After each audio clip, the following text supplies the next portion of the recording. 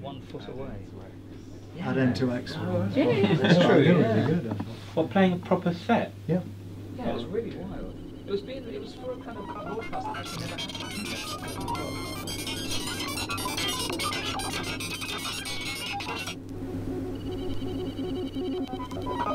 My name is Elizabeth and I make music under the name of Gazelle Twin. I'm John Foxx and I make music under the name of John Foxx. My name is Robin Rimbaud. I make music under the name of Scanner.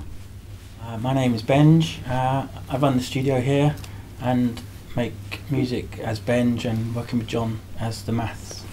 One of my main problems with performing pre Gazelle Twin was that I would I'd be making this music that was quite sort of cinematic and quite dramatic and quite you know intense or willingly intense but um, if I was performing it on stage as my as Elizabeth I'd kind of have the tendency to be oh thanks in between songs and oh, you know really kind of it just I just felt wrong it just felt really restrictive and uh, immediately when I started wearing costume and covering my face it was just I just felt an immense freedom. That was one of the deciding factors of even beginning Gazelle Twin was that it wouldn't be me. It would be not an alter ego, but it would be like something that I could just change when I wanted to. And like you said, have a blank canvas. I had no, no idea what you looked like in real life, and with that sort of costume, there was a sort of quite a power to it. You didn't know whether there was this sort of enormous burst of energy about to fly out your head and impale someone in there. there are all kinds of other connotations, aren't there? There's the, the, that shamanic stuff and all that, which is true and it's relevant, you know, and it, it, also gives you the opportunity to step away from your old self. Mm. And that can be good for you because that's often burdened down with a lot of um, baggage that you've gathered through your life. And you see people who don't understand it and die sometimes because of it, because they confuse themselves with the object that they're creating. If they think they are that object, it usually kills them. So it's quite an interesting lesson to learn, and I've seen a lot of people do that. I had to go on tour to promote a record. And the thing people have to do, and you know this, you guys, when you make a product, the idea is, is that you promote it. And I simply wasn't interested in it. And I'd already made a tour and thought, I have no energy for this. So I used lookalikes, and I had 16 people who looked a little bit like me, but they made the show on one night. So I made 16 concerts, one in Amsterdam, one in Vienna, one in Miami, one in New York, one in London, with people who looked a little bit like me, at the time shaven headed, skinny looking creatures.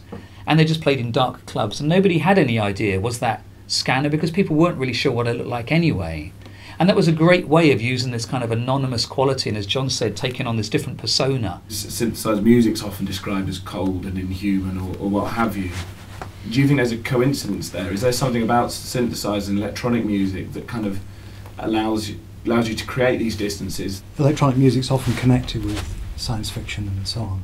So there is that feeling of, of distance and alienation, you know, is the word that's used all the time. So that there is that connotation that connection there. Um, the other one is just new stuff. Uh, when you haven't figured out a language for it, it seems alien. And I think synthesizers were like that too. You, you can, a- actually, in fact, with a synth, you can make the warmest sound you've ever heard in your life and the most intimate sound you've ever heard in your life and the most uh, immersive sound you've ever heard in your life too, much more so than you can with a guitar, I think. Originally, for me, it came loaded with no history, in a sense. In that, when I was looking at acoustic music and I played a note on a piano, it came with hundreds of years of music already there in that one note. When I hit a chord, it was even more history arriving at, at your at your kind of memory and your hearing and everything at the same moment. Whereas what appealed to me about electronic music, particularly sampling actually at times, was the not only the manipulation of the real and the unreal and this division between what is real, what isn't real, but also being able to create something that's never existed before. A lot of the equipment that's here was the sort of thing that people were kind of chucking out a few years ago. It's only in the last sort of few years that people have started to pick up on it again. It's got this value still to it, and, and yet people discard it and move on to the latest kind of gizmo, you know, the kind of gizmos that you're making, Mm. which is fantastic. But I, I like to appreciate the kind of the previous generation in a way, the stuff that had been discarded and and uh, forgotten about, and kind of that's where, Mm. where I am here. It got thrown away too quickly, though, didn't it? That's, Yeah, that's the thing because it never got investigated properly. The original recordings, when, when this stuff was originally brought out in the seventies and eighties and stuff, was all recorded on tape, and it was quite it was quite lo-fi and noisy in a way that kind of recording medium. But now, with with kind of high high resolution digital recordings, you can just hear every little kind Hmm. of nuance of these old instruments that you you couldn't really hear back then, and Hmm. And uh, I think it's it, it kind of it's almost like you, you're listening to them with new ears. You're dealing with archaic control Hmm. interfaces, you know, like that, or like a typewriter which has been adapted, and neither of them really suit the purpose perfectly. Um, and we're dealing with scales that were invented for piano for various reasons. Mm. So there's a lot of historical baggage, and once that's got rid of, we'll, then we'll get some new instruments. Um, w- we're not far off, I think. But at the moment, it's interesting that even the software is imitating this. So we're, we're, we really are in Formica land at the moment. You know, we're, we- how Formica imitated wood when it came out. In studios, we used to use um, uh, iron dust embedded on uh, melted ancient forests um, as, to, as a recording medium, which is not far removed from walls or rocks or stone or whatever. And in fact, it is mineral uh, mostly. Um, so if that can be done, then I think there are lots of interesting possibilities that haven't even really been looked at yet. when Elizabeth made us this YouTube and various and sound mix, which we could then install on the website, it was almost like that's kind of like a, a Heath Robinson sort of proto version of something you might be able to do in a kind of more vivid way. And I, I thought it was really interesting how you put it together. composing classic for classical music and you know there's always a, a connection with literature and there's always I mean there is with all music but that was always of interest to me to try and combine and everything um, from all all sources and I don't know whether I've always done this but for, for Gazelle Twin what I write for that project it's always intentional that I'm trying to include everything that I possibly can that has any resonance with me. So that I mean that can come from anything. And you know I think the, the, the playlist that I made for the Quietus was very specifically about you know um, sort of post-apocalyptic kind of situations. And you know there's literature that's about that you know from way beyond where I thought you know like the, the Mary Shelley piece The Last Man which is one of the first I think that I know of that's about you know post-apocalyptic Earth I studied literature, and so when you're trying to make comparative literature in a sense, in a similar way that the mix was made, you're looking at a history of ideas, you're looking at politics, you're looking at visual arts, you're looking at the literature, the poetry, the social conditions, and you're trying to tell a story with words that's joining all these things together.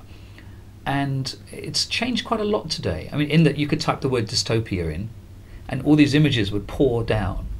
Website links would, would pour in in a sense, and you can make the connections. And I find it really intriguing. I wonder how this is changing the thought process Hmm. and changing how we're actually I'm sure it yeah, engaging in media Mm. and how we're actually remembering these things. To- I Mm. mean, I, I've read discussions recently about how do we remember things anymore in some sense, you know, Mm. because it's always stored there Mm. any, any, anyhow. Like McLuhan said, we're, exter- we're busy externalising our nervous system at the moment, I think. Y- You can look at the, all the cultural and, and even uh, scientific history of the human race as, as an unconscious desire to connect everyone together in, by some means, because all the technologies have gone into communication, all of them, uh, or warfare. But that's communication of a different kind. It's destructive communication, but it sure is communication. If you throw a spear at someone, you're connecting with them. We are on this ocean of information and we are surfing it to s- survive. And trying to learn the rules again of Mm. what's right, what's wrong, Mm. where your responsibilities are, how far do you go, yeah. Mm. What do you reveal and what you don't reveal, which Mm. kind of goes back to where we began. Yeah. And taken identities not to reveal too much. Mm. And that's what's really curious. What you know, how do you use these tools, etc., etc. I don't know if it's because I grew up in the 80s and there was lots of films about, you know, um, like Terminator, thing, you know, machines taking over and aliens invading. I mean, I think that that's always been there. And I was saying earlier about literature, and there's always been a fear of invasion and a fear of Mm. losing control and a lo- losing what's human or not really understanding Well, what hu- being human is. Fear of industrialisation, fear of science, fear Yeah. of possibilities of electricity, which yeah, which is what it all comes from, isn't it? And yeah, Yeah. it's interesting about syn- synthesizers and just the whole essence of recorded music, or well, maybe not. Obviously, there was wax cylinders and things before, but you know, it, it all comes from the spark Mm. and from fire, and you Yeah. know, yeah, that goes all the way back to you know the beginning of Yeah. civilization.